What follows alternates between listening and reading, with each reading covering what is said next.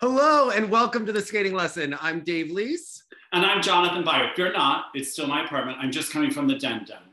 Like it's very one, lovely. I like this. One tree. last Christmas moment. Yeah, for you, Dave. for those of you uh, this who are new here, this is this and that. We are going to be discussing everything that happened at the 2021 2020 two All Japan Figure Skating Championships. So if you're new here, please subscribe below and smash that like button. Give us all the love, all of the poo Bears that you wanted to give to Hanyu. Leave them in the comments below. I don't like it in COVID without the poo Bears. You know, in Russia, they don't care, Jonathan, but let's you know who should care? Yeah, who should care are the flower girls or, yes. you know, yeah, the sweepers. Yeah. I don't know about you, and I love this week of the holidays, but it's a lot, right? And mm-hmm. it's trying to fit everything in with the holidays and familial guilt and being like, we have these crazy events to watch. And I'm sure that all the viewers feel the same way. Like, being a skating fan, you want to spend time with your family and your loved ones and do all of the holiday stuff. And at the same time, you're thinking like okay like the super bowl of super bowls is going on every five seconds. Like what what is happening? Well or what's the expression? It's like christmas. It is. I just remember going to mass and driving to my sister's house in 2013 december 2013 so it would be right before the 2014 olympics. And Plushenko like was competing at the free, what was happening? Was he going to make the Russian team? What kind of shenanigans were going to go on? It was a nail biter at that point. We still time. wondered if Tuktamisheva was making a team back then. Just little, but yeah, it was. It's quite um, the event. I find that uh, I have to watch them independently of each other. I, yes. I mean, I'm too old to wake up in the middle of the night and then function and do everything that we have to do in a day, right? So when I'm in Russia, I have to be in Russia. Like I can't right. be in Russia and like also in Japan. Like I need right. to be in it, right? And right. people as soon and it's so funny because as soon as we post the Russian show, it's not even up for like 30 seconds. Was like, when are you posting Japan? When are you posting Japan? I know, and I feel like the men, like I, we still we still hadn't found some of the free skates for the men by the time people were asking. I want to talk about that in general. Um, listen, there's a lot that we have to say about Japan and Russia and things that Japan did right and things that Russia is doing right. The one thing that I think Russia has over Japan is that they make their skating accessible. And I know yes. that every TV network and contracts are different, but when you're building a sport in a country and you have superstars, I think it's imperative that you do what Japan does. Even NBC Sports will start to post at least the top people on their YouTube channel. And they're not necessarily making money off of those videos. I just want to like I'll give a little YouTube lesson. That money really goes to the musical artist based on how skating is, especially now that lyrics are used. Mm, interesting. That if they're using like The Lion King, that would go to like Disney music, right? And you know, Elton John gets, you know, a, a wheat penny off of it, you know, a tenth of a cent, right? But yes, it's not that someone when you're posting a video that has any sort of copyrighted music in it um, as the only ones that aren't are the ones that are like you know really old where the copyright has expired typically is the kind opera of, i mean yeah. you're talking 100 years plus yeah opera so. you know maybe a moonlight Mozart, yeah. you know depending yeah. on the re- and it depends on the recording it's not just it's who recorded it and when so if you hear but Michael see, so, this is different because like for instance if i were to sing a concert and do music that was within the last 100 years and i made money on doing that music is when it, it starts to kick in. Mm-hmm. If I'm like just doing like a benefit gala or something like that, and I'm going to sing some like American Hollywood song that's within the, the 100 years, if I am like donating my performance, then I don't have to worry about it. So in these instances, are the networks making money by, with the YouTube well, views? Let's talk about that. How could yeah. they make money on YouTube? One, it's marketing. It's expanding your reach and your audience so that someone wants to one know your channel. They want to be interested in it. Now if this is the same network that's covering the olympics and you're covering the olympic trials it behooves you to make that accessible because you're only ramping up the excitement the interest and making sure that everyone knows who these skaters are. Yes, probably everyone in Japan knows who Yuzuru Hanyu is, correct? But maybe not everyone knows who Kazuki Tomono or Shun Sato are. And right. when you're introducing them and you see them from year to year and competition to competition, you're starting to build that. So in a world where Yuzuru Hanyu is no longer competing, you then still have people that the audience are invested in, right?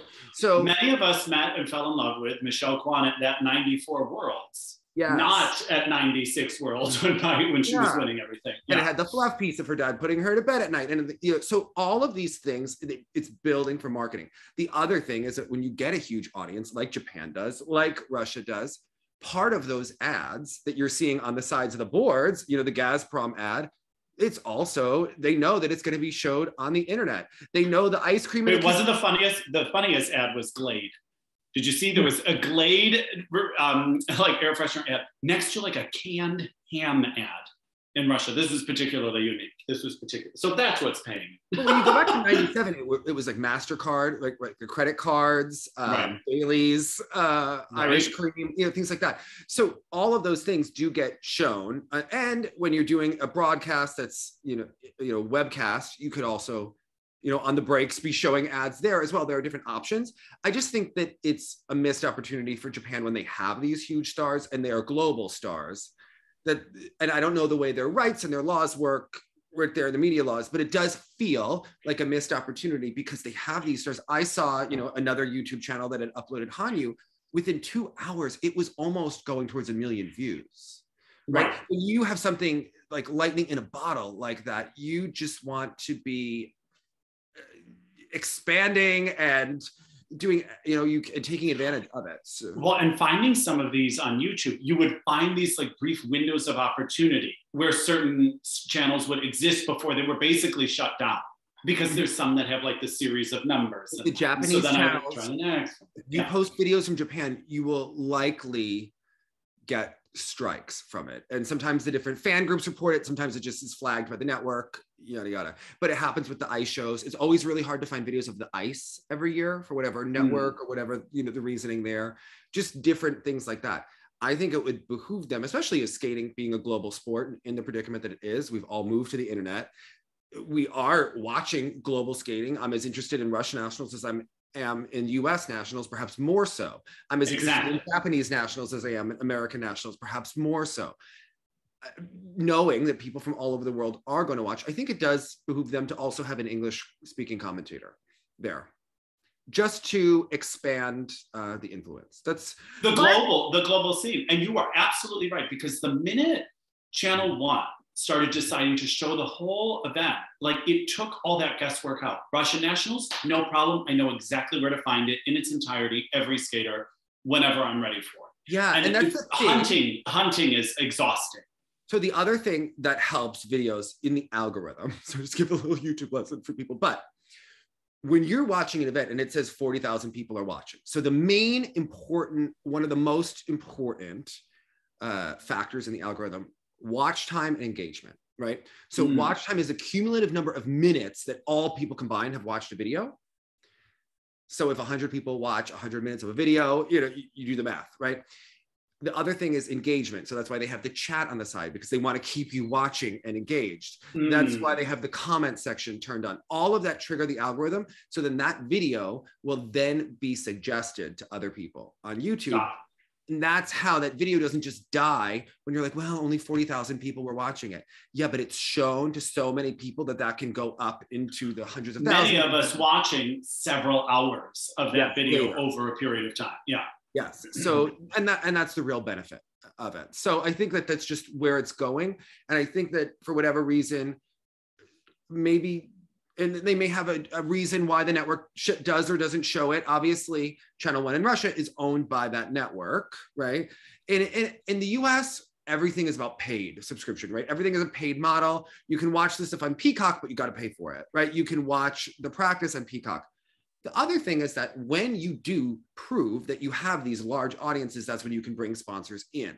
When you have it on Peacock and you have it, yes, it's paid and you're getting money to NBC, but it's on a closed uh, group of people, it's never going to expand too far beyond. No one saw Skate America. Like yeah. it was, it was yeah. damn near impossible for, for people to find footage that were actively, aggressively trying to find That's and at least NBC, which obviously owns Peacock, does put some of the top performers on YouTube, and some of those videos do very, very well.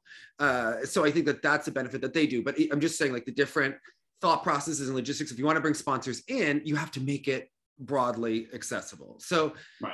it's, I mean, USA Gymnastics had like a huge YouTube channel, and it really was building the brand until the brand went off a cliff, right? And Right, that's right. the kind of thing there. But the, the disappointing part is that the Japanese coverage is Mhm. excellent. It's excellent. I love watching the like diagrams of the ice coverage, of the speed, of the height, of the Imagine if you like- had someone explaining how fast someone just skated.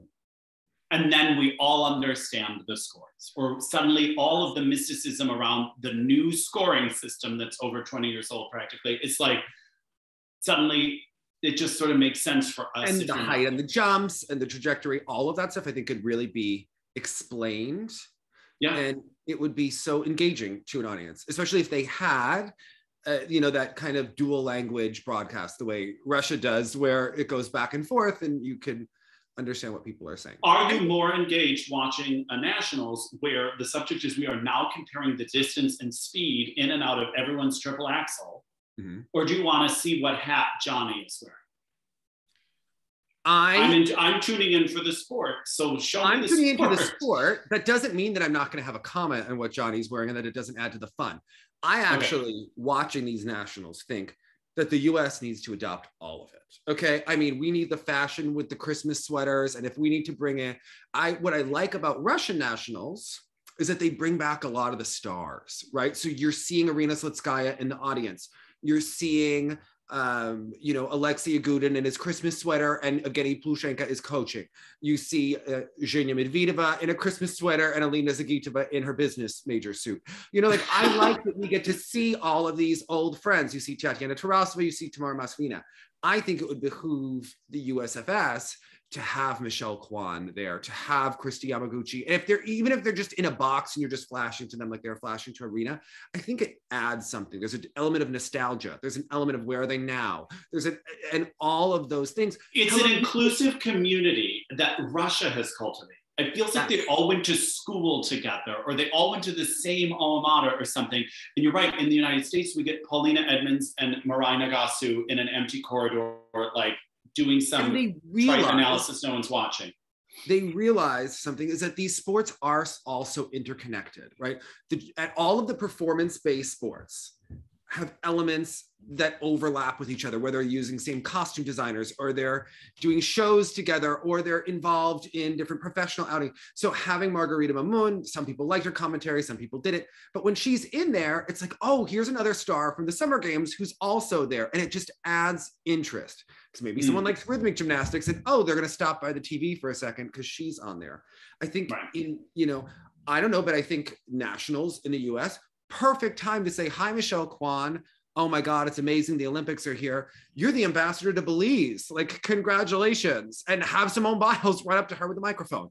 You know, that kind of a thing. You know, having Adam Rippon there, having Johnny, having Tara, all of the great Peggy Fleming and Dorothy. That's not just for the arena because No. th- they think they're doing something for the arena in that heinous carryover from hockey or whatever that rusty clown guy and it, it, it doesn't interest us please don't you know insult us that way we want to see former skaters we want to see them on tv we want to like engage in this common love of this sport and you're right Michelle Kwan sitting in a Christmas sweater talking to Peggy Fleming, and then suddenly, like, boom, uh, walked past Alysa Liu. Let's just have a quick impromptu chat because we're all friends and we all love this sport. Like, and we feel a part of that. Like, I felt a part Brian of that. Boitano can Russian bring out comedy. his cocktails for everyone, right? Sitting there and the whole right.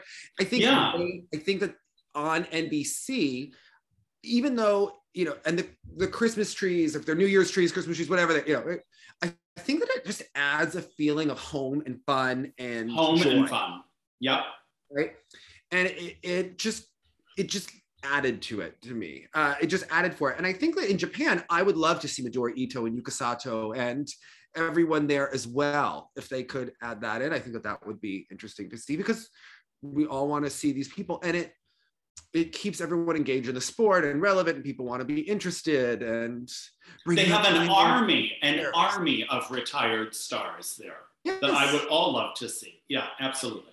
yeah. So and I think it's a real. Uh, it's a missed opportunity, especially in the Olympic trials years. You know, I know that they try to do reunions at certain of these sports, but I think it. it But that's for 50 people at a pancake breakfast at the hotel because everybody gave 50 bucks to friends Yeah. of figure skating. I mean, it needs to think bigger. You're right. I think, especially for TV, right, to set Yeah. the stage, and it gets everyone excited for the Olympics. You're seeing these Olympic stars in the past, and your memories of them are being jogged. And oh my God, Peggy, how about that chartreuse dress? Have you noticed that chartreuse is everywhere in the mall this year? it is. Right? So exactly. those are just kind of things that I was thinking. Um, the mask wearing. Japan, everyone's wearing masks. Delivered to them in like a fine envelope for some of the kiss and cry moments. Like it was like delivered. It's like a gift. I loved it. They were so respectful about it. Russia, no one had it on. Everyone had to lick the door handle on the way to. No. it did feel like that. in Russia, right? It did feel that. Yeah. I don't know if you got text, but a lot of people were asking me, so if the Russian team gets COVID, they're just going to fake those PCR tests, right? Like that's where people's minds are going. Okay. Yeah. Yeah. Because the alternate, uh, the alternates may have the same positive test. I mean, oh, I mean, when people are like, the Russian ladies are going to sweep, and it's like, well, Omicron is a thing, and there was not a mask in sight, and um, it's taken some down before. Yeah. Yeah. So I mean, you hope no one gets it, but we live in this reality where course. we're testing positive every single day. Exactly. Th- those are just like my overall thoughts about you know i think ultimately to build the sport and build the skaters and around the world and we all want to see it so Yeah, Anyway. absolutely. It was interesting to see the Japanese coverage go back to what NBC was using for a while with those green, yellow, and red squares. I'd not seen those for a while, and I can't say I missed them. I I don't, don't know that they really are. i think that they do add when you don't spend so much time focusing on them as a Hmm. viewer maybe i went to scratch my behind for a second right during a during a Went to the refrigerator. right? or I had to run, or someone's calling me in the other room, you're cooking, whatever, and I miss a jumping pass. I don't mind looking like, oh, it was green. Okay, we're good. And I'm back in the performance and I'm gonna catch up later. So I mean, I feel the box sometimes does that with the score anyway. You, uh, you know what I mean? Yes. Like, as long I mean, as there weren't two in a row or something. but I, di- I didn't find it to be obtrusive, right? I, I that's the thing. So I found it Sandra w- changed my. I used to like it, especially in dance, because it helped me understand the the name of the move I was watching. Sometimes mm-hmm. I don't know if, if it's a midline step, a diagonal step, like so. That thing always helped me do it. But I remember Sandra being like, "How could you enjoy any performance if you're?" She's like, "That tells you the problem in the sport is that you're zipping up away from the art of it to watch numbers change in the court." I, I agree with her in terms of a performance, especially in terms of the second mark. I think in terms of the reality of the sport and what we care about, knowing that someone's triple axel better be rotated, otherwise they're not going to get full credit. Right. Just making sure, being like, okay, it's yellow. All right, they're they're checking it after. That's just what why I. It's a sanity I- check for me. I remember something about Megan. I thought she said at the Olympics when she was coming up the tunnel, or Mm-hmm. you know, coming out to skate because she had tried so hard to not hear scores and applause. She was like, I accidentally saw somebody scream, and Yeah. it was all it was all green. Mhm. And she was like, damn it. like I wish I had not seen that. I'm the same way where I don't like to see people and how they do. First of all, I would never want to watch anyone and wish ill on anyone because everyone works hard and is putting themselves out there. And you know human nature in that moment. Generally, I find that if I'm watching someone before me, if they do well, I'm like, oh, maybe I'm not so good. If I see them mess up, I'm like, oh, maybe I'm gonna mess up too. So I don't like to watch it. yeah, yeah. period. It's a lot of emotional energy. So I feel Totally. Megan there. If you see someone green, how are you not gonna be like in that moment? like, oh, yeah. And then you yeah. have to be like, wait, I can do that too. And it then you, up your pressure. And that's what she said. She's like, well, then I can do all green. Like, but yeah, Yeah. that's a hard thing to think right before you go on. Yeah. So well, speaking of all green, let's discuss Yuzuru Hanyu here because a lot of what he did had a lot of green and a lot of positive GOE. Okay, let's start. Everyone wants to know Jonathan, the quad axel. We saw it in practice, we saw it in the free. the attempt. I, I there were a lot of people first calling it clean because it was on a foot. Um, it a was wrong not, foot and an under it was not clean, foot. but the fact And that he's it is incredible, and he is. And, and I'm of Mishan's opinion. It wasn't clean, but it was great. You know, right? That's kind of That's what- it. Yes, and, and of the attempts we had seen, the best. of, of everyone. Love it. this is the closest. Now I understand if I see these attempts that he's going for. Mhm. Before I was like, it seems so dangerously in progress that I don't know if we should hitch everything onto it. What of course blows my mind. Mhm.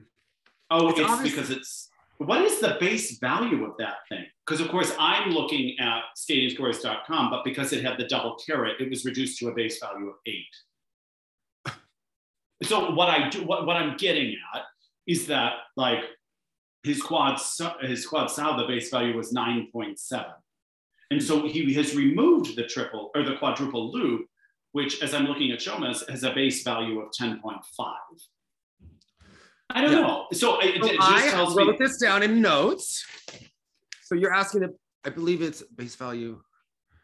I'm gonna say the wrong thing. I, I want to say didn't say 12 and then he deducted, but I'm don't I don't uh, don't quote me on the base value of quad axel. What I it do didn't know seem as, as, as monumental as it could have been for as monumental a this is what my notes were about this. He got 4.11 points on the quad axel. Right. Shoma got 13.65 points on his opening quad loop. We have seen Yuzuru Hanyu do Gorgeous quad loop. gorgeous quad loop. Yeah, and that was with Shoma primarily at a plus three, but we do know that Hanyu gets plus four or five when he does that. Well, I think his is better. It's not always as consistent in practice, but in competition, we have seen him do the most gorgeous quad loops. If Yuzuru Hanyu had done Shoma Uno's quad loop in his program, he would have scored 331.90 points here. 11 points higher than what Nathan Chen got at Worlds. Now, granted, it's national scoring. Also, I read Twitter, and the Fanyu like to say that Nathan Chen gets scored like he's at nationals every day, every competition. I digress. It's interesting data. It means that Nathan would have to be perfect, Olympic pressure. I think, listen, I know. I'm with you on this. I'm with you. Yuzuru Hanyu's dream to do the quad axel, right? And that's what he said. And maybe that took some of the pressure of going for a third Olympic title off. But Jonathan, he is in this, okay? He's, he's right there. He's Sonia Henning this moment, right? He is right there. And if I felt this about the US gymnastics team in 2008, everyone was like, yes, but the Chinese girls have more base value. You nail it under pressure, even a little bit under in base value, and you give performance and the meat of your life, you force them to have to compete under that pressure and you force them to have to win because a lot of people will crumble under the pressure. And Nathan has fallen at the Olympics before, and four years later, it doesn't get easier, right? Right. Look at how Michelle Kwan, Brian Orser, when they tried to turn silver into gold, it is hard. Okay. Right. The French are going to have to face that. It is really, really difficult, especially when you've never won before and everyone feels that you are of that caliber. I really think that Yuzu, I think he could do it. oh, I think he can. I think that if the, but that's me turning the goal into winning. And I think he can if he does the quad loop. He does, I think if he were to do a quad loop and skate perfectly clean, with all those transitions in and out of those those difficult uh, his quads it would be really difficult for anyone to beat him. And if they did beat him, well, by golly, they really earned it. right And I think, yes, I know it's his dream to do the quad axel. I don't believe he can get it from a double carrot to clean in the, by the Olympics. I don't believe it. I would love to see it happen. I'm just using my rational brain, right? I'm not using my fan brain. I'm using rational brain. And furthermore, forget a program in the exhibition. Let him just do it. 17 attempts on the exhibition ice. We'll all watch. Okay. yes we will and those are the videos that'll go viral but like yeah forget a program. He can do an Ina Bauer and 17 quad axel attempts. All right. I don't care Right. Let him do it in the team of um, no, why would you want to? He could win. Why would you risk the injury? That's that's my thing also. I want to see him lead Japan to a team medal. Frankly, they could put the pressure on for Russia to like lose. They could, right? You and I were talking about this yesterday, and I was like, how did they think they were an outside shot for bronze? And now I'm like, hold on a second. I was like, hold on they could make second. some real magic if the stars. Let's talk about it you have Yuzuru Hanyu do short and long. Let's say he did it or another person, right? Even Yuma Kagiyama, he's gonna beat Kolyada. Okay, Correct. like Correct. Olympic pressure. Come on, or right? Semenenko. Yeah, exactly. And depending on who the U.S. put in for the, let's say Nathan does the short, Vincent does the free, something like that. Yuzu can beat Vincent, like right. right? okay, let's say that China gets that sorry, Japan gets maximum points in China. Japan gets maximum points in China at the Olympics for men. Ladies, let's say they get second. Which stands to reason. Yeah. Is Russia going to do first in the ladies and second in the men? I don't think so. I think Russia would do first in the ladies, maybe third, maybe fourth in the men. I know because they're going to have the Italians skating. If they skate clean, they're going to have the French skating. If Kevin pulls out an interesting short or something, you know, this is short and long, right? So yeah. let's think about it. This is why I think Kamila has to do short and long, uh, because I do think look, Trusova goes for all those quads. She may not stand up on all of them. Right. Right. Um, okay. Forever then, again. Okay. Moving along yeah. to um, let's talk about the pairs. Well, Jonathan, you know Terry's going to campaign for Tarasova and Morozov to do the team event. That's a tough campaign for them right now. You know what? You know what Japan should say? Please do it. Let this happen. Please yeah. let this happen. Okay. Yeah. Yeah. Riku and Ryuichi, they are ready. They are ready to go. okay. Right. They are ready. Tarasova and Morozov putting down a lift like they're Vanessa James and Eric. Like Come on, They're, they are right there, ready to go. Yeah. Dance, that's a gamble. Nikita's got a back injury. Who the heck knows? We've seen Nikita miss a twizzle before. I mean, they're at least, it's within the realm of margin of error. Yeah. I think Russia is obviously the favorite, and Japan is obviously the favorite for silver, but it's within the margin of error that things could happen. Isn't that interesting? Because I really thought for a while, the US was a lock because we were so solidly middling in most areas. The US is right. the queen of the bronze medal in this team event, right? We've been outscored in pairs and ladies. It's close in men and it's not close in dance. So yeah, I don't know. It's it's turning out Japan really brought in a season where we felt like there were a couple of open doors for people to go through. The person going through them is the Japanese Federation as a whole for the team event. That's been like the exciting surprise. What if they put Diana and the team of judges decide to judge her accurately? That could be trouble. Like not with the Igor Shpilband political marks. Right. With like what if we find out that Diana's going to do the team event and the rest of the judges around the world are DMing each other, being like, "Oh hell no." Yeah, no Warsaw here. Yeah. Hmm. Suddenly, Tim Koleto doesn't seem so weak in the ice dance compared to Diana Davis. I'm just, saying, I am just yeah. saying, right? If like, it's called honestly, yeah, hmm? yeah. If the judges call it correctly we've seen some crazy stuff in the team event. I mean, remember Plushenko's GOE, but anyway, Julius, but I digress. Okay. um, yes. So moving along, wonderfulness. Um, just lovely. Um, what event we starting on? We're doing Yuzu. I thought that okay. everything but that quad axle was fantastic. So and so now how did you feel? I felt like there, especially in when did we see him earlier? Where we saw like the pop, the pop short program, like it was like a, a more rock, was it? A world. Was that really it? For some reason, I thought we saw him at like a Japan Open or like some sort of exhibition or something. Because I remember being worried about his material this year, but this was better material. No, you're confusing me. Did I sleep through Yeah. the season or something? No, I'm you, of course no, no, did. no. We we've been doing. He was season, like, scheduled to compete at the 2021 NHK Trophy in Rostelecom, but he had to withdraw after injuring his right ankle ligament in practice. My Right. Also bad.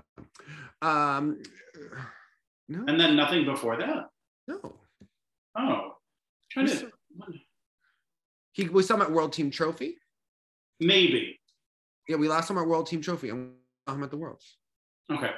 I just this material. It seemed like he went back to safe, which I oh. or formula, and I don't mind that here with the piano music.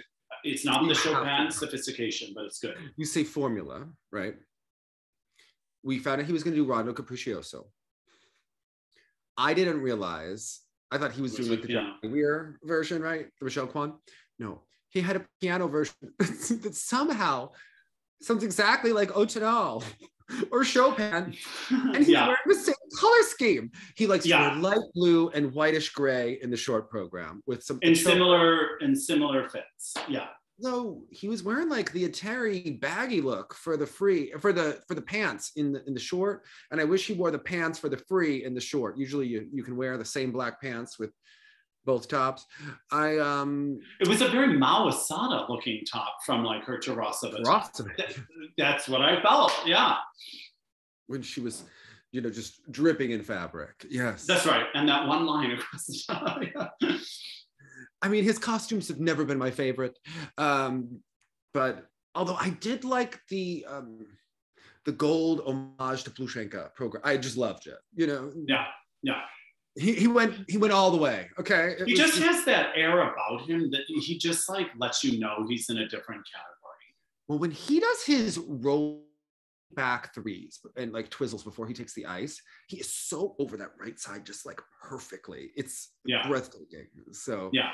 um, I and just the spins the attention to detail it's and it's really the flow out of the jumps and often with like this beautiful twizzle moment or is that like something not only does the jump landed well but it had so much speed and so much edge and control that he's able to do all these gorgeous things afterwards you know, he has know. a better basic balance over his blade than Nathan does. it's more my buoyant opinion. you're showing me that buoyancy and i i think that's right that's what he has i feel the body can do anything Nathan, I think, is better at the toe jumps for the quad. Hanyu, I think, is better at the edge jumps. My opinion. But that I read that in their body, like Mhm. in that same way that Hanyu knows how to like almost go limp, let all, all the tension before he goes into something.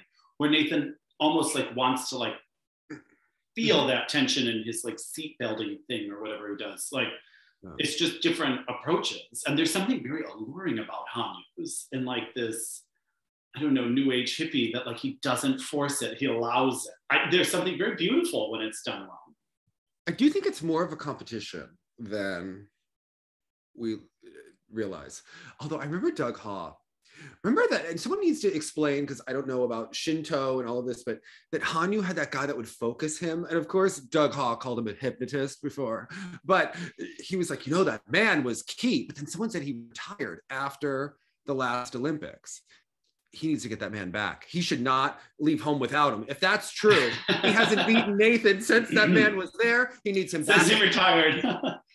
yeah, anything that helps. Like, and I I did read an article where Hanyu said like he oh, I don't know if he said he almost wanted to get sick before the long or something like that, but like he was so so obsessed about the quad axel attempt that he or we wanted to cry or something. There was such this weight around this white whale of an element that I'm just like again like you're saying does this help you distract from all the other things you could be thinking about going in or does it make it even more intense for you? I I don't think- know. I bet he could switch out pretty quick and put that quad loop in. I bet he still practices it, right? I think that Yeah. he could switch it out at the last moment and It's interesting. I would have been more scared for Nathan. Not that I'm scared for anyone. I want the, the best performance to win. But like, I would, I if I were Nathan, I would be more worried if he came here and landed a flawless quad loop and got all that GOE and posted that number you mentioned he could have posted, as opposed to an attempt at a quad axel that got four points. So listen. I know he said the quad axel is his goal, but he's so close to winning. I know. it changes everything, right? I know, I know. And a lot of us didn't know. I didn't know what he would be like here. I was thrilled to see him looking so strong and trained. Yeah. So, how about our friend Shoma Uno? Um, neither is my favorite program, although his short program costume is my favorite. Um, I just want to know how much that one bedazzled sleeve costs in the short because it's the most costume. and just knowing how much stone costs. I mean, I've got a Roth IRA. I've got, you know, my 401 I can't afford that sleeve. Yeah. Come on. Like, let's do it. Uh, although I want to go. There, it was interesting because one of the other skaters, Mhm. it was either Kao Miura, I think it was Kao Miura, um, skated to music that I wished um, Shoma had skated to in the free the skate. Poeta, which is the Yeah. Lambiel piece. Yeah. Yes, that's that was Yeah. Cal. I, I Um, was like, I think that's that kind of piece would have interested me greatly for Shoma. remember the tango he did with the screaming woman that we did, where he Yeah. ended with the Ah! backstrap. Go back to that for the Olympics. It would thrill me. Okay. Yes. It And and if we're remembering what ultimately gave Shoma a silver when some thought might have been that uh, that it was going to go to Javi was the reckless abandon of that Turandot. Like that mm-hmm. almost the performance was so big you couldn't not give him that silver medal. I don't know how you can do that with this material if he finds himself in a similar position. I think the bolero is just muted, and it mutes what makes him so special. Eh, or and it's muted and then never has that like let it rip and unleash moment. I miss the Robin program. I miss the Screaming Woman. I, Yeah. I would go. I would go back to either of them. Right. Yeah. Yeah. Also, the short is nice, but could you imagine an audience of Leslie Jones watching him do like the Michael Jackson like moves? I mean, come on, come on. For the public, we need to see it. Okay, we Yeah. need to. See it. Amazing. I just think that he goes too safe for the Olympics. Hmm. Although I don't know, yeah, the Turandot at the time seemed safe in 18, but it did have that big moment he needed. It did, but I, especially this year, I feel the music choices are safe. But the jumps seem a little safer. A Well- little safer than they've seemed at this point in the season for him. The quad, the first half of the free was going great. Yeah. For him, it was a dream. Okay. Yeah, for real. Say what you will about the quad floop, it was going well. And the quad toe fall was just I know, I know. And he kind of mustered the other one. So he did have four clean quads and was attempting the five, but but still placed third in the free. Again, so we've got someone with the loop and the flip, but they're placing behind Yuma with a more quality sow and two toes. I always feel like there's a moment in Shoma's programs where you start to hit the turbulence when you're flying. You know, you never just have a safe flight all the way through. Yeah. Or it's that like it's too quiet moment. What's or it's why is it so easy right now? yeah. It was going so well in the beginning. Um, Lambiel said he forgave him for the quad double in the short. I mean, we have seen him do a quad double so many times. it would be hysterical if he quadruples at the Olympics. Uh, Yeah. Could be a game changer. Yes. So. Uh, Interesting. Yuma doing a beautiful job here. Little Yuma- trouble yeah. with the triple axel. Yeah. okay, let's talk it out. You know, the Russian tarot card lady that has predicted a lot of things correct. Whether you believe in it or not, I'm interested in what she has to predict versus what happens. And everyone just keeps bringing up that the Russian tarot card woman on YouTube has said that an unknown or rookie skater would win In men, in men's. Is that Yuma, even though he won a world silver, he's still more of a newcomer? I consider him a newcomer and an unknown. I think plenty of people will be tuning in to say, "Who's that?" And you're like, "Well, he has a silver medal from the worlds before." But but he's not as experienced as Nathan or Yuzu. he's, so he's not at his third Olympics, that's for sure. Yeah. yes. So is that him? Then I'm watching it and I'm like, well, he's very solid. He doesn't have enough emotion for me. It's getting there. But it's about getting the job done. Uh, You sort of see Yeah. that. and it starts with the music and i know they're trying to bring it out and i love the costume in the free i think we need a little bit of a haircut and a little bit of some makeup to, to really make him look more finished and polished off just for the overall performance of it all he needs to visit matthew caron in, the short program and we need But it's no joke. You think about like even just like regular newscasters, all the stuff they put on just to be under the their lights. The Yeah. lights of those arenas are harsh. They're, you know, yeah. I mean, we need to take him to Sephora. We need to go shopping. he made the team. It's time. Okay. Just his overall look and presentation needs to be upgraded, especially mm-hmm. in the short. The jumps are really spectacular. He's got a deep knee bend at times, like on the quad cell. I thought that he had a slight Shoma landing. Mm, okay. That hip was opening up, baby. Yeah. and I'm just, just a little uh, scared. He's growing into where he will be probably in a year in terms of the world ranking and his overall confidence and the presentation within it. We didn't see the quad loop here. He can do it. It can be a great jump for him. Uh, he has so much potential.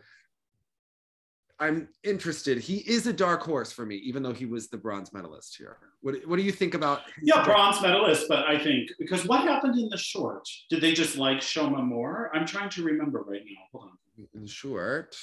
Was it that? Oh, he he had the issue with the quad toe. In the yeah, short. yeah, yeah, yeah. So uh, so again, he allowed that to happen a little bit. I think he was destined to be second. Uh, potentially. Uh, they certainly. 95 points.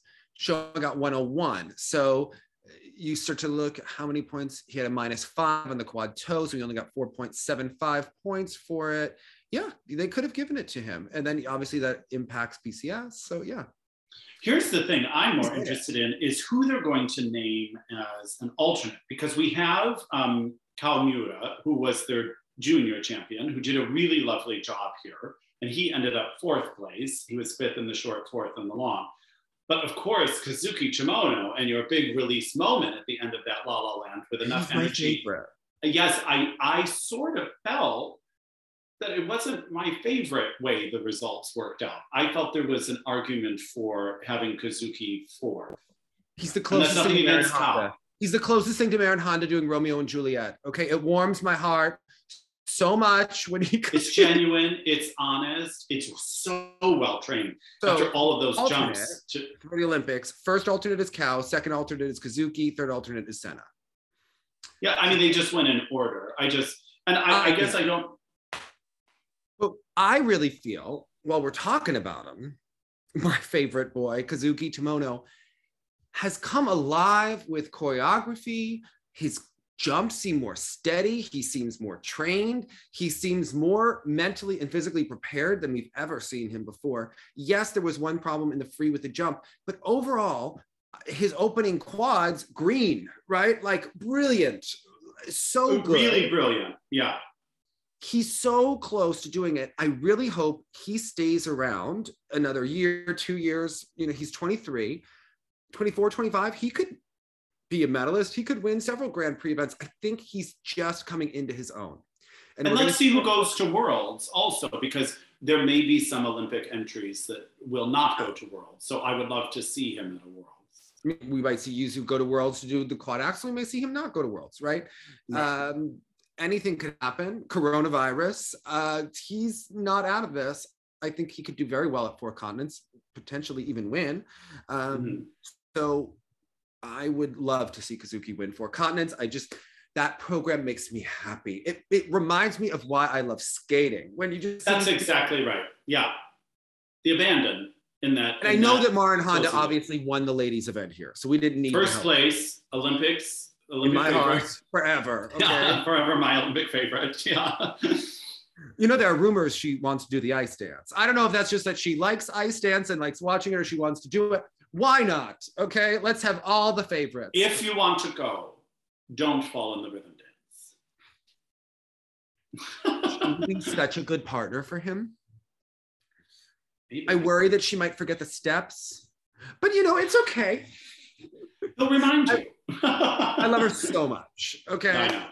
Even just seeing her here, you know, hopelessly low in 17th place, whatever she was, 23rd place.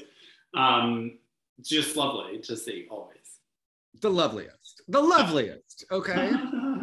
it's not all about winning. Okay. It's about skating and it, fantastic to watch her. Kazuki, same thing. The favorite performance? Expressive, just has a projection and inherent like joy around the skating. It's really Is it about on- you have some- I mean, I- and again, like at lightning speed. Mhm. That's the thing. Like in the arena, you know that thing must feel like crazy how much energy he throws in at the end when we saw several people at another championships fizzle out the farther it went. And to see him get stronger and stronger and faster and faster, it's just a testament to his training. So, you know, when we compliment the Japanese on their skating, and the Russian fans will be like, yeah, well, how many quads did those women do? You know what we should do when they try to gaslight us like that? We should turn it and be like, yeah, we saw your men. How come they don't compete like the Japanese? How many quads did they do? I mean, that's the thing. Yeah. How to many me, programs did they do without dying in the second half? Right? That's we got to ask. Or second jump. Yeah, exactly. Because the the again the depth of Japanese men right now is re- reminiscent to me of that 2014 like golden boom for them, which was Yeah. just it was incredible. and so many are young, which is, you know, we're going to discuss them in, in a moment, but they have longevity in the sport. Kao, 16 years old, fantastic, fantastic talent. Uh, he did the Poeta program that you wanted. Love the music. Yeah, show them what to do. I could also see Kazuki doing something like that. Mhm. Fantastic, fantastic. Interesting that he did it with Lambi there coaching Shoma. Um, I know. I- that's what I. hey, can we have a moment of honesty about Cal? yeah, He's a little stiff in the muscles and in like the limbs, right? it's Which is- sort of what surprised me about his fourth instead of fifth over Kazuki, because Kazuki seems so in his body. Now, Cal, that stiffness is what will help him be such a good jumper, Mm. right? The quick rotation, the quick body. But we will be saying for the next 10 years, can he really work on his artistry and his presentation? you know it Yeah. now. You know what's Yeah. coming. Okay. Yeah. He is inherently not built to be an artistic, flowy skater. Right. He's built more like a Bo Yang Jin type. I just Also a world medalist, you know. also a world medalist, not once but twice. Yeah, see? uh, but I, I, I was like, stiff legs. There's no flexibility, and he's got a really ugly camel and fantastic jumps. yeah, Um, and just some, somehow that freshness that just is exciting because we have not seen him all season. I mean, I know he won the the junior uh, nationals, but again, it's we haven't been inundated with him in these programs. So let's talk about what Japan's doing that's smart. So with Cal, he is going to four continents, right? He's the first alternate for the Winter Olympics. He's going to Junior Worlds, and he's the first alternate for Worlds. The chance that he goes to at least three of those competitions, probably likely, right? Uh, because Yeah. he's on the team for two, alternate for two. You got to think they're getting him enough ISU points so that he's going to get the Grand Prix assignments next year. So they're already prepping another star Right. and you know however many retirements that's another one. They have primed and ready to go. I think kazuki with his points it would certainly make sense for him to compete next season. Yuma shoma right? They, they have like a lot of options uh, to go with. So i thought that was good. But jonathan the biggest cauchemar of the event was the triple flip Euler situation that was happening to Shun Sato in the free skate. He did the most brilliant quad lutz and just just a wipe out nightmare of a three jump combination. Uh, just uh, Plus fives on that quad lutz. deserved. Yeah, Deserved. yeah. Um, but then it then it became a cluster for him. I'm getting concerned that this is the second competition we've seen him uh, pop the quad lutz in the short. So that is a little worrying. Don't want it to get in his head, but he was so brilliant here, and uh, he'll be at Junior Worlds, but he he lost out on going to. Yeah, I have to be honest. Like, I wondered if after seeing him last season, he was going to play much more of a, a factor in this. he was so season. talented on the Grand Prix as well. Yeah, he's got a bright future. You yeah, got of course. Yeah, yeah, yeah. It just wasn't lining up at the moment. that fall in the short killed it, killed it. Yeah. Um, any thoughts on Sota, our lover of Michael Bolton and Andrea Bocelli? Oh, well, isn't he handsome? Like I was like distracted. I was like, what a handsome um, and a really lovely short, obviously, tough times in the long. But Really tough free. Um, and and lovely, lovely.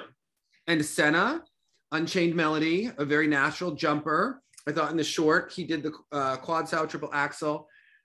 He had he had the tape around the skates and this like billowy white dress shirt, hair that looked like it could have gotten a trim, and he's just real wild and reckless abandon, which is great, but it also makes him look unfinished.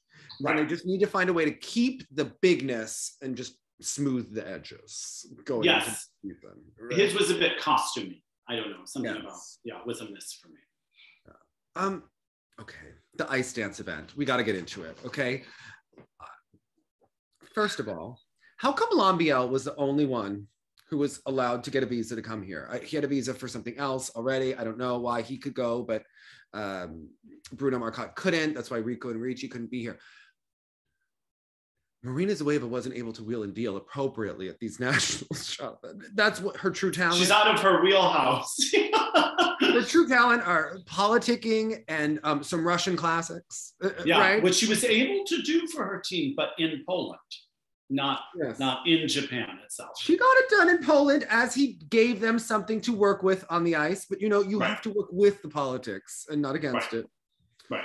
That was so Sonika's problem. you know, she made it obvious. No. um, I don't remember saying this, but apparently I said that the only way Tim Koleto was going to make the Olympics is if Daisuke wiped out during the rhythm dance.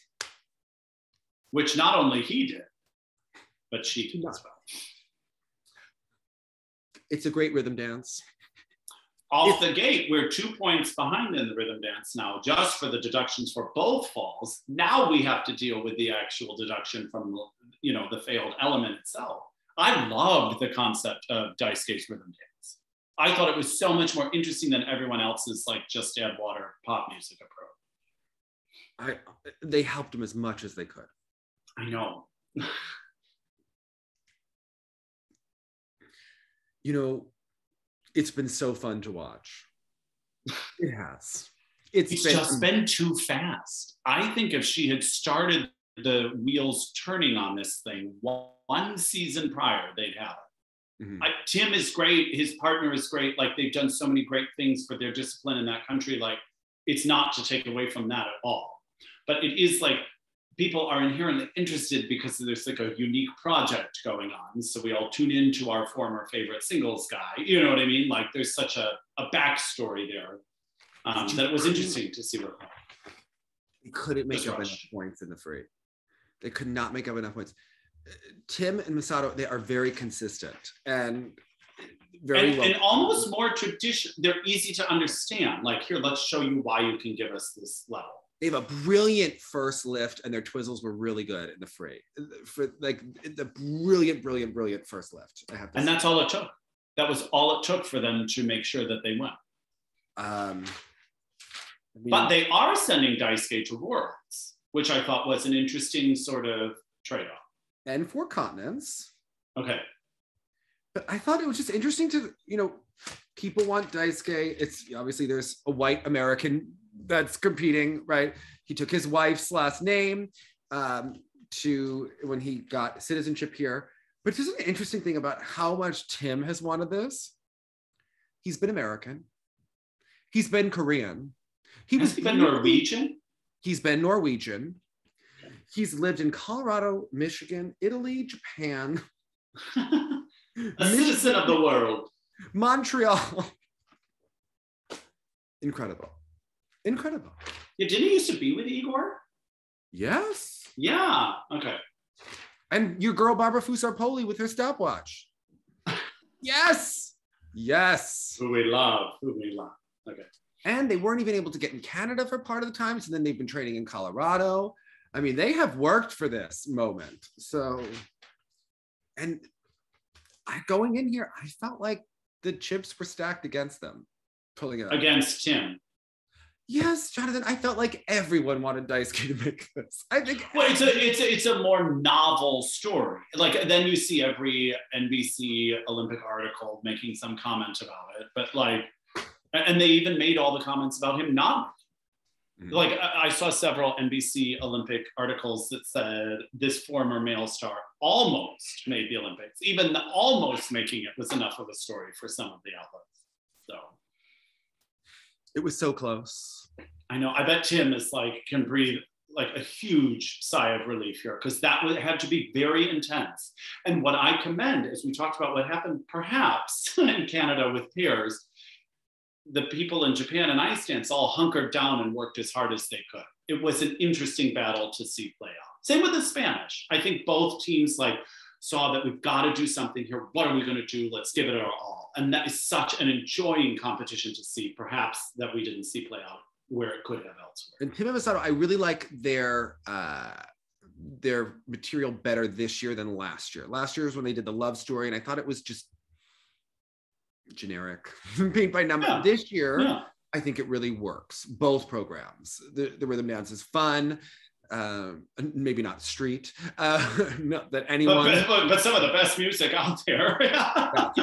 and he has more performance than he has had in the past. And I thought that the the free just works really well uh, for them. And I like the costumes. So Hmm. I have to say, Dice Gate, I mean, it's a Meryl Davis Marina's Wave of fantasy.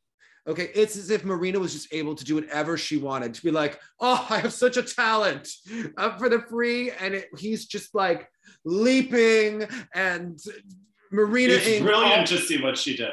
Oh my god, it's so fun! It's so Yeah. fun. And again, I love that free dance of Daisuke. Like just because again, we haven't seen that kind of movement in a lot of free dances recently. I'm aware of their sort of new to ice dance limitations, but the material was very interesting. I hope someone calls Marina again. Can we get rid of Nebelhorn? And why don't we do like a competition like The Voice or American Idol where the audience can vote who we want to see at the Olympics? Okay, Jonathan, To Tuktamisheva would go. can we vote extra spots, like not allotted to certain countries, but just the fan favorites for like the Even final- just like one, even just one in each discipline. like fan favorite gets to send anyone they want. All right, so we're gonna send Elizabeth and the ladies. We're gonna send Yes. Daisuke in the dance over Sara Hurtado. I'm sorry, Sara, you're just not Daisuke Takahashi. Sorry. Yeah, you are Should not. he be unable to perform, you are my second choice. Okay. Right. You are my second favorite. Okay. Um, and maybe Kazuki Tomono in the men. Kazuki, yes. Um, I'm I'm for that. Um, yes. uh, Is there a pair you're worried might not be at the Olympics that you would like to see? Well, if Jessica Caroline wears too much makeup, I know that you love Pavlyuchenko. Um, you Hers. love Deanna Stellato, Deanna Stellato as um, the international choice. That's Um, right. World competitor. She could be in the Medicare division, Medicare Advantage. As Um, Rod Black will tell us. Yeah. Okay. uh, yes, yes, we should have at least one. Pairs less so. Pairs less so. But I, I think you're right. It would be fun in each discipline for fans to Do just you want to tell Deanna up. That you don't want her as the people's choice? No, that's not what I said. It's not as clear a path. I You think guess. KMT hates you? Wait until you get her. Okay, she's a talent. No, I love it. No, yes, but she's Chicago. We got it. We got it. she's Chicago, hometown girl. Okay. Yeah, right, right. You're She had a probably- prom at the the Shedd. Uh, did you, she had the Adler Planetarium? I know these weird things. Okay. Oh my god. Okay. Oh my god. Okay. I don't know about you, but I feel emotionally exhausted by this Yes. week. Yeah. all season, I feel like manifesting getting Wakaba to these Olympics has been very tiring, knowing that the Federation It's been exhausting, hasn't it? Uh, You you feel like you carry the weight. I felt, you know, when she got through the short, I was like, oh God, now all the pressure on the free. You know, it, just, it didn't make it any easier. Yeah. Now I would have felt better if she had nailed a triple axel in the short instead of, but I understand, especially in this situation, play it safe, keep your name in it. don't mess this up because she did so well. Was it in Budapest? Where was she? Where she did the triple axel in the short? It was somewhere in Austria. Austria. and then, of course, missed it in the long. And then the next time she tried it in the short, it did not work. So I, I see why they would have left it out. Do you think she needs it in the short at the Olympics? Yes. Yeah. Yes. Yeah. Yeah. Against Trusova, who's wiping out on the triple axel, who you know she's going to go for it at the Olympics, and Anna Right. Shcherbakova, who doesn't have one. Yes, she needs to do it. Even if it was like the attempt she did in the free, where it was just a small step out, like you're still gaining some points, right? Yes, yes, but she can do it. Wait, I Dave, did you know that Wakaba is doing the risings? I she's doing the rising sun of the Lion King at the beginning of that program because that's how the musical. I didn't know this until I was watching her. Isn't that Josh. what um, the guy with the blue butt? Isn't that what he does in the in the? uh, Rafiki, yes. I was like, I'm like picturing a skater. I'm like, who is that? yes. So it's she is showing the sun rising, and then it like begins the day. And I was like, I love catching moments like that. That's why I wore my new Christmas sweater from Debbie. I thought it had some Lion King energy to it. it does. It does. Yeah. War The, the general color theme. Yeah. Mhm. I I don't want to be culturally appropriating. I'm just. It's an homage. Okay, it's Yeah. an homage. I'm going to say this blue is an homage to Shizuka Arakawa, who was a frontier braver in Japanese ladies' skate. Okay, yes. but uh, you know, it's Yeah, not I- I color get that that. usually picked, and you know, we got to wear the sweater from that mom gets us. It feels a little bit like a dress, but I was like, I'm feeling some real King. Even better for skating. Yeah, now just do black leggings and you're all set. Oh my god, I was yes. Uh, Amazing, amazing. But yes, it was an exhausting four minutes because I was like, "You are so close, Wakaba. You are so close. you're almost there. You're almost there." I know she did. I. It was interesting. Some we we have often heard from athletes say that the nationals, especially an Olympic year, is even greater pressure in some ways than the Olympics. The kind of lead up to it. The national championships is the toughest championship. I'll say it again. The pressure, it's like a knife going through your body. Yes. Yes, yes, thank you. Yes, but you could see the release on a lot of these um, lady competitors here. There was um, a release that reminded me of some of the release you see at the end of Olympic programs. Like, oh my God, it's over. Like all of this buildup is done, and I felt Wakaba was one.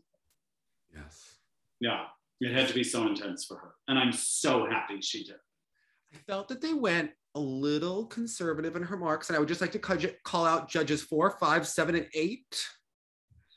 In the free skate, I think we could have gone higher, and I think that that was maybe some reputation of Wakaba within Japan. I felt that we could have at least had her at a nine flat for program components for a lot of them. Uh, not saying that she should have beaten Kaori uh, program components. Kaori had a joie de vivre. She had a uh, speed and an energy and a confidence that I think you could tell that Wakaba was getting through this very stressful moment in her life. Um, and with the step out. But I did think that they could have gone higher and set her up for more success at the Olympics because I do think that it's not okay. I where do you think they fit in, Kaori and Wakaba? Four and five right now.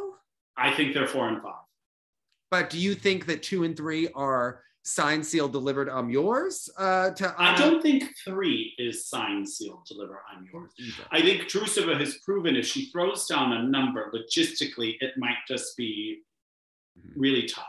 So I think Anna's susceptible because she has the the she's the wild card technically, it seems. So I could see a walk up, a jump her way in there. But as we've seen internationally, judges will give Shcherbakova some huge PCS boost, deserved or not. Um, that I don't know that Wakaba could make up with one triple axel in. I think she would need three solid ones if she wanted a shot at getting in there, and Anna would have to fail at her quad. Okay, so I think that Wakaba needs the triple axel in the short. And at this point, we just need to stay clean in the free. Okay, Just let it happen. okay, Let it happen. I'm not saying that she's winning a bronze medal. She needs to set herself up for the possibility that not everyone is perfect under Olympic pressure, even Team Tutberidze. and Okay. she has the Olympic program.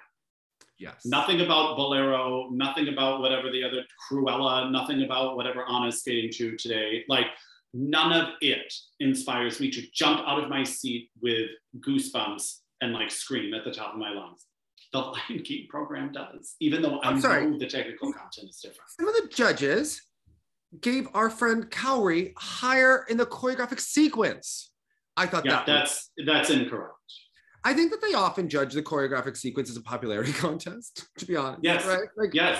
And it's funny because like the whole point of this was like, here, have carte blanche, like just run with it. Do anything that you all say we miss in skating. Here's your chance, do it. And some people so take advantage of it, and some people just like phone it in. And you're like, no, this was like given to all the fans, I think, as like a bone to be like, no, it can still be fun like the 90s. Here, we'll do a choreographic sequence. So a few people and take need a choreographic spin and a choreographic sequence. And we need to free up some of the elements for more creativity. Yeah, agree. Less, less change it from being a sport. It's just what they did in ice dance, where they just opened it up a little bit in that last minute to Right. just make it free. freedom. Yeah. Yeah, yeah.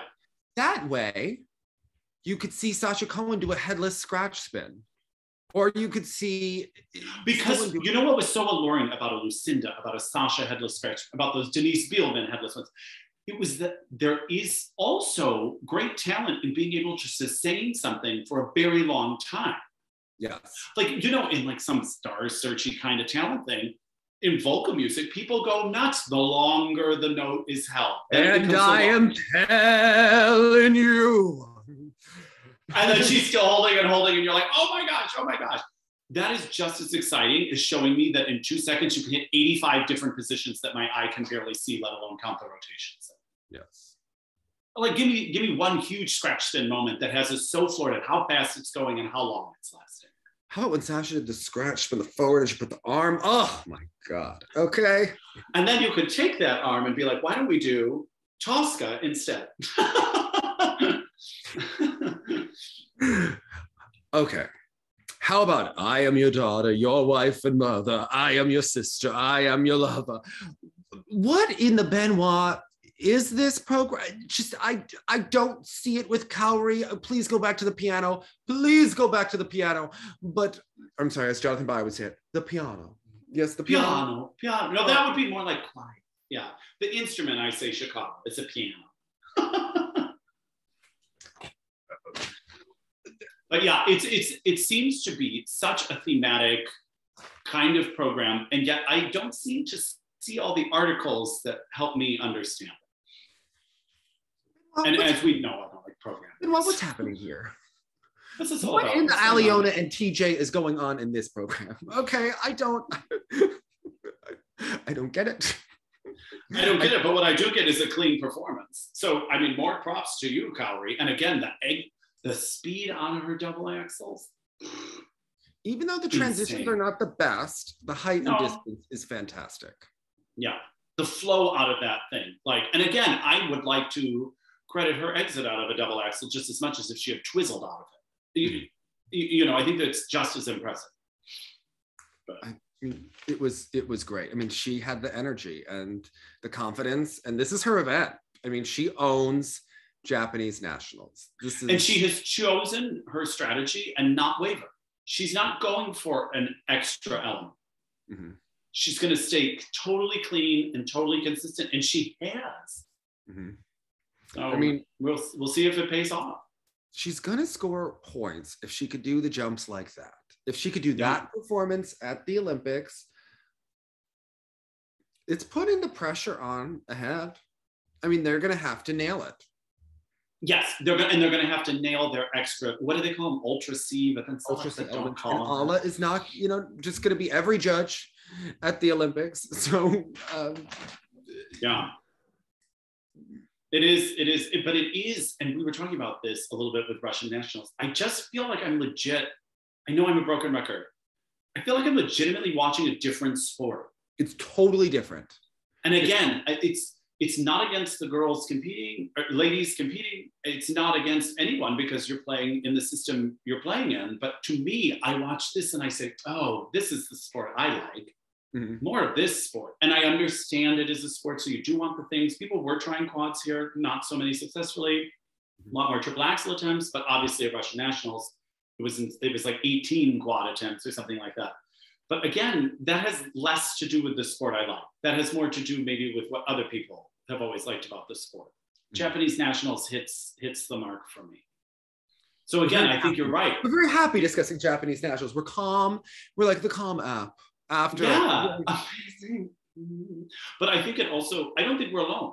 I think the judges might agree so that if given the opportunity to show that a clean Japanese woman with perhaps less insane technical content, but good technical content, we would like to show you that we value that Mhm. instead of like sort of slap together more difficult. They are my pick for four and five, with Luna being six. About Okay, roughly, roughly, right? That's kind of how I see I- the cookie. that absolutely tracks. uh, maybe Luna not sixth, maybe Yelim Kim. Or, you're right, or, or Or that's kind, you even. Yeah, yeah. kind of how I see it. Um, Yeah, I, I will make a, I will have a better picture, I think, on Lena after Europeans. Okay. Because she had like some really nice moments in the fall and some more like still working through it moments in the fall. So I'll be intrigued where she's ended up. how about Rinka Watanabe performing to Carmina Burana, which I saw Jonathan perform at the NJPAC, doing um, a triple axel, which was great. yeah. And an equally stunning triple Lutz Euler triple Sal, showing um, Anastasia Mishina how to do an Euler. Okay, it was good. okay. well, okay, so let's let's talk this one out because who we skipped over in this was, and it's it's so weird. At first, I always think I'm saying Monica Kawabe, Kawabe. Who I sure I- love. Okay. Yes, I do too. Now, having seen her in Canada live, like her triple axel, when You saw the stop, drop, and roll, correct? Yes, yes. But then saw her rebound and do like a free that was like amazing. So you knew this girl had something special in the triple axel. The rest of the jumps, Dave, it makes me nervous. It's like how we used I used to say about Kevin Aymoz, like he's getting it and I like the skating, but I don't feel relaxed because I don't understand if the technique is going to be there. So with Mana, I- after the triple axel, I was kind of like, okay, you're getting out these combinations and these jumps, but they don't seem as steady as, for instance, Rinka, Mhm. who I thought then did a great triple axel, but I, I was a little more secure in her jumping. Now tell me, please, are you more afraid of her coach, Mie Hamada? Or are you more afraid of Eteri? Are you more afraid of Eteri who leads with who she is?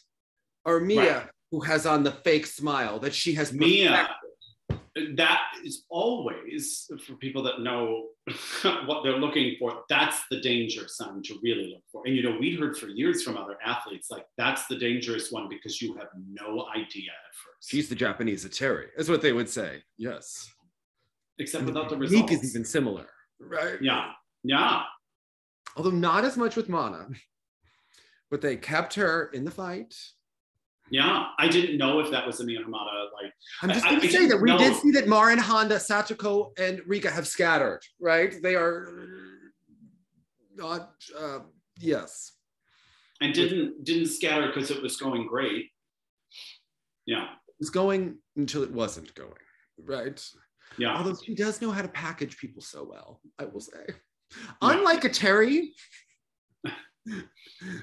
the There abuse are is excellent packaged, music choices. Yeah, there are. the abuse It's is packaged with such a lovely bow on it that we want to believe it's not, right? You that's that's the thing is you do want to believe it, and her show makes you believe that maybe it is not so. She was always so happy for Satoko. I know, and Satoko was the one that was seemed so serious, and you're like, oh. Hmm. But I wondered because I'm I, I may have an unpopular opinion. here. Mhm. I felt like Mai Mihara was underscored. Well, And that's something, if I were on the selection committee, and I understand that I'm probably in the minority I feel like Mai is more consistent than Mana or Rinka. I could have seen it going for Mai. Obviously, Mie Hamada has more political pull within Japan. Mai gave it away by having two errors. I know back to back. And because she was really behind in the free, only two points. I mean, she left tons of points on the table by doing the single axle, single toe. That was that was really unfortunate. Yeah, she would have easily survived. been. She could have survived Yeah. the triple Lutz, triple toe Q, double toe under. I, it's that the single axle, single toe. Yeah, I still would have debated sending her I would have as well. Ever.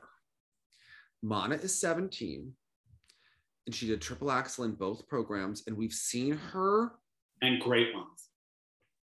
kind climbing in a wave this year of up and down. And I have to look at who are we going to develop long term, right?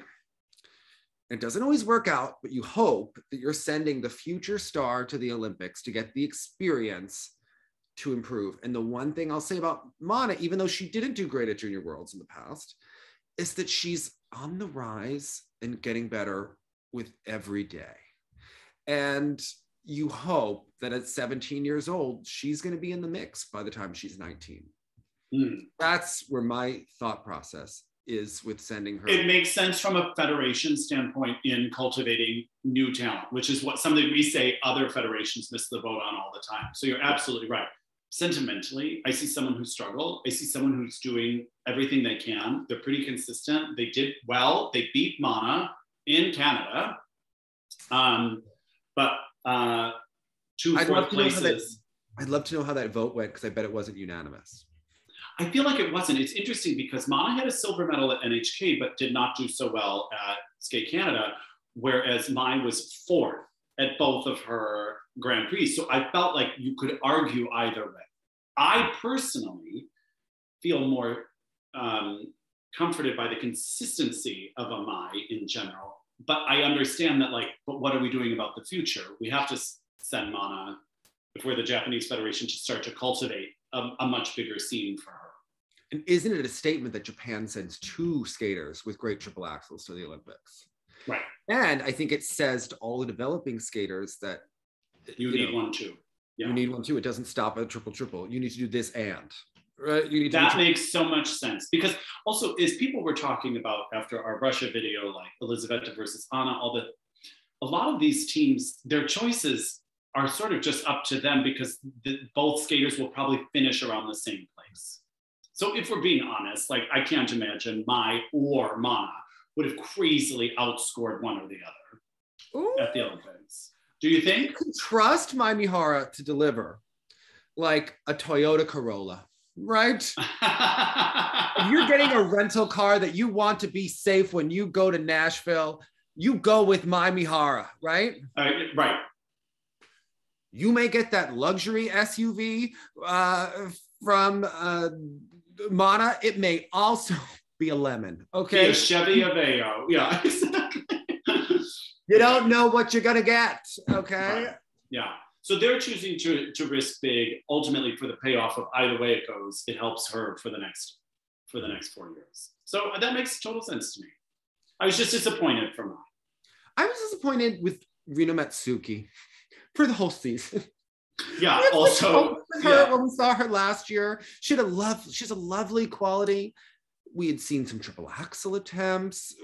It, it just has not come together. an unusual thing for someone who would have missed the Lutz and the flip, only to turn around and do a great double uh, triple Lutz just a little bit later. And so that's always the indicator to me that there's some chaos in the There's some chaos, some but there's ability and talent, and y- Yeah. the Japanese just need a little bit of one or two more skaters to really push the depth forward in the ladies to get the competition up. Right? It seems like there's like a certain level of competition where like then it just like becomes like in Russia where everyone is delivering these elements and performing at these levels.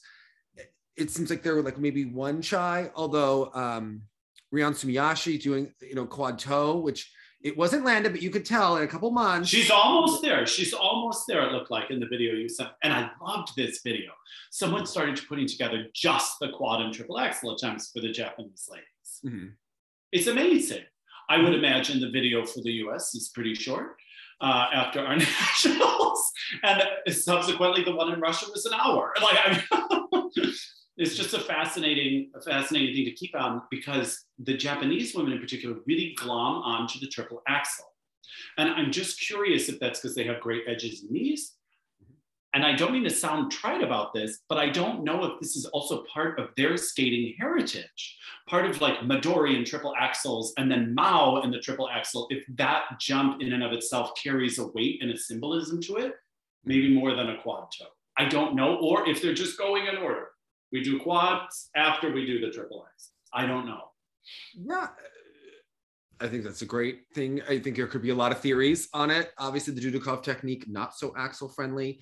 Right. The, uh, I would think the Yamada technique, more axle friendly. And we saw Exactly. a lot. And I think it's also, we've seen a lot of triple axles from Japan over the year. It's not just Midori Ito, Yukari Nakano, Mao Asada, you know, Right. Yoshie Onda, right? Uh, so many over the years. So I think that it's I think like when you see it, you replicate it, right? Like you see mm. what's possible. So you start to, see- it's, it's kind of like involved in, in gymnastics. The double twisting Yurchenko, when Vanessa Atler was competing, was considered state of the art. Like a couple girls in, in the world did it. Then all of a sudden, everyone started doing it, and it went to the Amanar, and it was like, oh my god, it had been done one time before, and then people started doing it again, and then everyone in the U.S. just as soon as they got their double, they started working for it. I think it's Hmm. like that with the jumps now, where we used to stop at the triple Lutz, triple toe Right. you know you- that was what you needed right that's what you need to perfect i think when you see the triple axles and then girls start doing it and they start doing quads in the juniors and you start to have all of this then it starts to shift the mind you know of the Mm. coaches of the training of people and I, it moves the finish line in a way Yeah. but like again i know there is such this like nostalgia to it because of course in the united states i know we pretend kimmy meissner had one but that to me as a fan never landed in the same way like the tonya ones did and we waited until mirai it took all of that time in the united states for us to have two Mhm. kind of consistent triple axel jump but think about it from kimmy to mirai kind of a long period of time right yeah from tonya to kimmy was a long period of time But so Tonya to Kimmy, huge period of time. Kimmy to Mirai, shorter. Mirai to Alysa, shorter. Right? Mm, like that's what what's changing. Uh, so Yeah. that's what's exciting. Um, that's a good point yeah and Amber trying it, and I think we'll see more attempts in the future. I'm not saying it was always perfect, but right at least they're trying it.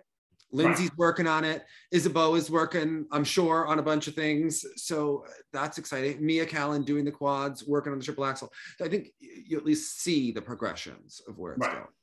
Yeah Yeah. I think the fact that so many Japanese ladies were doing triple axles, although Terry said in her interview that they they have quads. I mean, there's one girl that we've seen in the juniors that can do a quad, but uh, we have Unless she refers to Rika still having made those attempts, but yeah, yeah.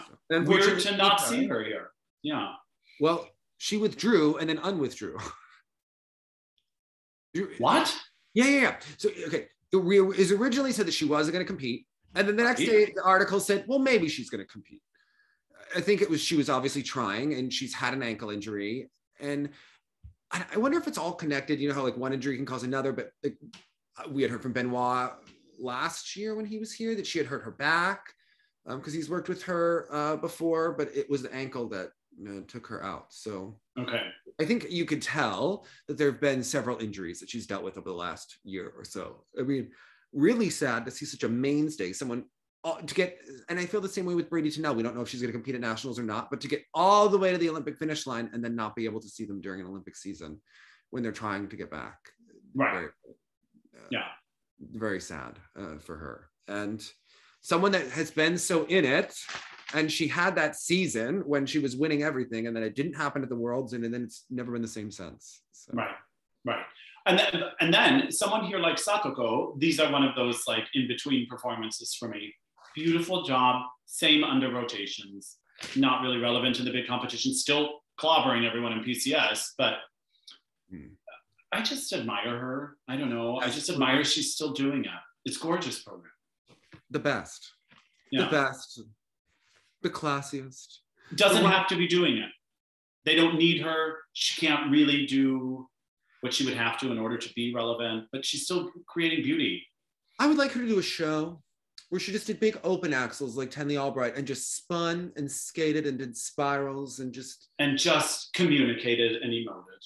yes. I don't need to see her jump. Frankly, don't really want I to- prefer not to, in fact. Yeah, exactly. Why why interrupt that gorgeousness with nerves for me? I would like to see her on the Mao Asada tour, just being amazing. Okay. And then Daisuke can come and do La Bayadere. Okay. And then we'll just and Marin Honda will do something. We just don't know what. Marin Honda will do Romeo and Juliet um, for That's old right. time's sake. Okay. That's right. I mean, she had a turandot too. I remember that one.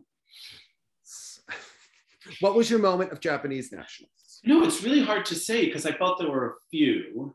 Okay. And so Yeah, it was-. It was it was it was clouded by some other stuff, but I think Wakaba sort of solidifying her climb back to to the relevant team, the top the top team, and and being named to that Olympics is is a really exciting feel good moment. So I'm going to go with that. And how about the fact that the top three ladies from four years ago are still in the mix here? That's exciting too. Isn't that amazing? Yeah.